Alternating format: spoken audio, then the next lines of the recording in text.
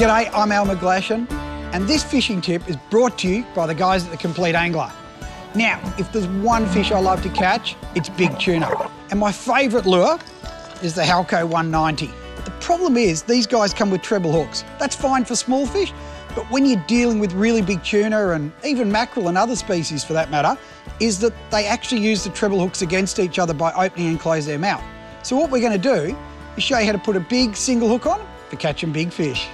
So just get a good pair of split ring pliers, push them in, and then just slowly work your way around. Just slide it off, there we go. And there you have it, perfectly good treble. So, first one's off, now we go down the back end. This case, because we're going to leave that front split ring there, the back one, we're going to take the treble and the split ring. So same technique again. Just swing it round and slide it. There you have it. Next step. Now we're talking about the real gear. So in this case, it's a 9.0. With these guys, I normally use 8.0, 9.0. So because these are quite thick across the top, just work it so it goes over. There we go.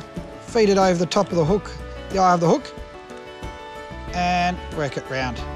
So there you go, slide that one through, and there you have it hanging perfectly. So, the final part is joining these two together.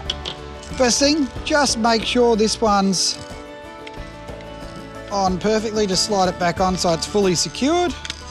So your last step, all we need to do now is just put these two split rings together and then just feed it on through. And there you have it, the finished product. It'll swim a treat. Set it out long and it's sure to catch big fish for you. Now, if you have any dramas, make sure you drop in and see the boys at The Compleat Angler and they'll get you sorted.